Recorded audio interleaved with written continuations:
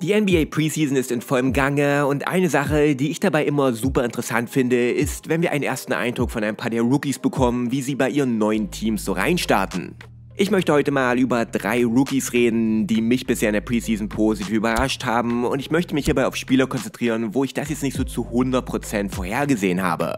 Es wird also nicht um Reed Shepard gehen oder Rob Dillingham, beide überzeugten extrem, bei beiden überrascht mich das aber jetzt nicht so sehr. Aber starten wir doch mal direkt rein mit dem ersten Rookie und das ist Jarek McCain von den Philadelphia 76ers. Zuletzt machte er 20 Punkte gegen die Celtics, davor waren es 15 und 9 in jedem der Spiele, nicht nur in seinem letzten, ließ er seine Qualitäten und sein Potenzial immer wieder aufblitzen. Wenn ich diesem Dude beim Basketballzocken zuschaue, dann sehe ich einfach viele Dinge, die ich mag und viele Dinge, die andere sehr erfolgreiche und gute Spieler auch sehr gut machen. Und genau das ist meistens ein ziemlich gutes Zeichen. Da hätten wir zum Beispiel, dass McCain ziemlich, ich will es mal furchtlos nennen, spielt. Hier Derek White ist einer der besten On-Ball-Defender auf dem Planeten, interessiert den Rookie nicht, Crossover, Drive, verzögert, Kontakt gesucht, Ball beschützt, einfache Punkte. McCain hat ein tolles Gespür, wie er sich Körperkontakt zu seinem Vorteil kreiert und er verbindet es halt mit einer Vielzahl von eleganten Moves, die Vielseitigkeit, er kann zum Beispiel auch beidhändig am Korb finishen. Das sieht man hier wieder schön erneut gegen Derek White, klasse Fußarbeit und erneut das Finish mit links. Solche Spieler, die für egal welche Situation einen Ballhandling-Move haben, findet man nicht allzu häufig. McCain weiß ganz genau, wo seine Spots sind und auch wie er dorthin kommt. Und diese Spielintelligenz führt dann in der Regel auch zu super tollen Resultaten. Ich mag so vieles, sein Attack-Mode und wenn er seine Chance auf einfache Punkte am Korb riecht. Und auch dieses Pound-Dribble vor seinen Dreiern regelmäßig, so bringt er Konstanz in diese Pull-Up-Dreier rein. Hier ähnlich, sehr cleane Wurfform, sehr schneller Release, es gibt nichts an diesem Wurf, was man in irgendeiner Art und Weise kritisieren kann. Und dann muss er den Ball auch gar nicht mal zwangsweise dippen, nachdem er ihn gefangen hat. Ich mag seinen Einsatz wirklich und auch seine geschickten Hände. Ich mag aber auch seine generelle Defense, hier wunderbar gegen niemanden geringeres als Jason Tatum. Und ich glaube, mit so einem Natural Feel for the Game hat der Mann auch einiges an Potenzial als Passspieler für seine Kollegen. Man sieht das schon. Er will die richtigen Plays machen. Er will auch gute Looks für seine Mitspieler erarbeiten.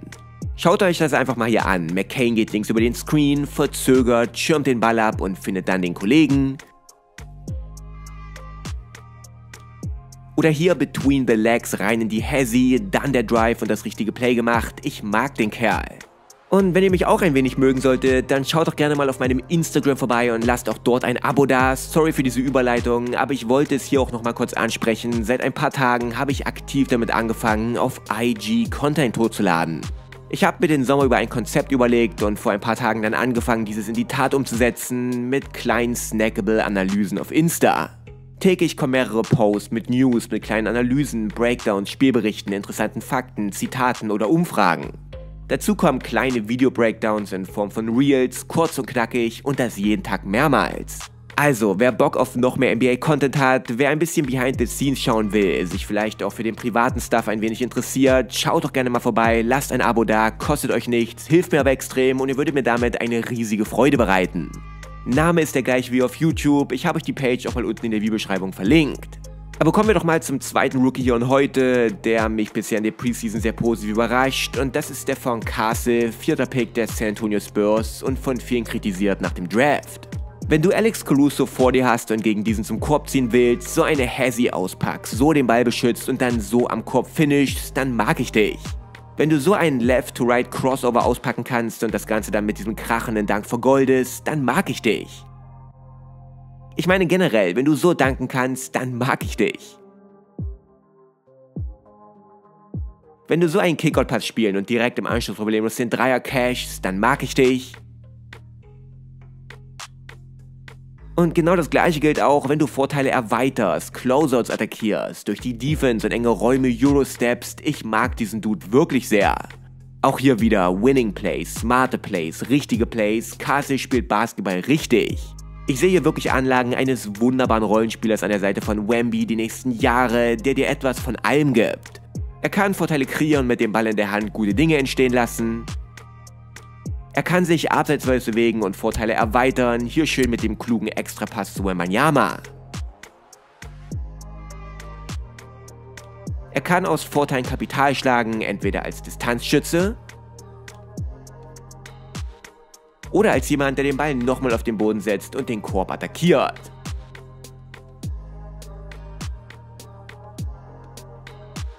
Kasse ist ein großartiger Transition-Spieler.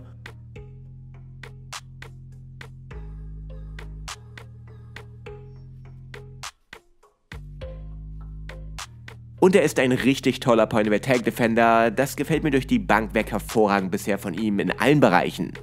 Ich bin wirklich mal gespannt, wie er sich an der Seite von CP3 und Wemby macht in seinem ersten Jahr, ob er sich in diesem jungen Kern der Spurs durchsetzen und direkt seine Rolle finden kann. Was uns zum letzten Rookie hier und heute bringt, und das ist Khalil Ware, ein Spieler, bei dem man sich wirklich fragen muss, wie konnte der aus der Lottery fallen? Ich denke, die Heat haben sich hier möglicherweise einen der Steals des Drafts gesichert, einen ultraathletischen Big Man mit elitären Shotblocking-Anlagen und sogar einem Wurf. Brian Windhorst beschrieb Ware nach dessen Debüt als Derek Lively mit Dreierwurf, da würde ich jetzt noch etwas auf die Bremse treten, aber man sieht zumindest ein paar Parallelen. Ware ist ein lächerlicher Shotblocker. Ich meine, gebt euch das doch nochmal hier. Zuerst blockt er den Korblegerversuch mit einer unfassbaren Wucht weg. Und dann direkt im Anschluss zwei Blocks in Serie, der erste sogar als On-Ball-Verteidiger gegen den Drive. Sicherlich muss da noch jede Menge feingeschliffen werden, aber die Anlagen als elitärer Rim Protector slash Shotblocker sind auf jeden Fall da. Ich hoffe, wir werden zumindest immer mal wieder auch Ware und Adebayo zusammen im Frontcourt der Heat sehen. Das stelle ich mir langfristig richtig geil zusammen vor. Und offensiv kann er mehr sein als dein klassischer Rim-Running, Lob-Catching Big Man. Den Wurf habe ich gerade schon angesprochen. Hier der Joel Embiid-Style Pick-and-Roll-Jumper auch für der Freiwurflinie. Hier sogar der Dreier. Die Wurfform ist jetzt noch nicht komplett aus dem Lehrbuch, aber sie ist jetzt auch nicht irgendwie schlecht oder muss überarbeitet werden an irgendwelchen Stellen. Ob er mal ein echter Stretchbake wird, sei jetzt mal dahingestellt, aber dass er zumindest schon mal nicht zögert, auch mal von weiter weg abzudrücken, ist wie ich finde ein tolles Zeichen. Schon in der Summer League dominierte er am Rim und das ging in seinem ersten Preseason-Einsatz so weiter. Viel Pick and Roll, viele Lobs, viel Abrollen, der klassische Stuff eben, aber auch den kann er. Ich bin mal echt gespannt, ob er zumindest mal einen Derek Lively-like Impact haben kann als Rookie. Wenn man das aber irgendwo kann, dann in Miami unter Eric Spoelstra in diesem System und in dieser Culture. Die Rookies der Heat in den letzten Jahren sahen regelmäßig von Anfang an sehr gut aus. Erinnert euch nochmal zurück an Jaime Harkes Jr. letzte Season. Ich bin also ziemlich optimistisch. Aber schreibt mir gerne in die Kommentare, ob euch noch jemand anderes positiv aufgefallen ist. Und checkt wie gesagt ja mein Instagram ab, da geht's richtig ab gerade. Es werden jeden Tag mehr. Alleine gestern und heute kamen knapp 100 neue Leute dazu. Danke fürs Anschauen, bis zum nächsten Mal und macht's gut.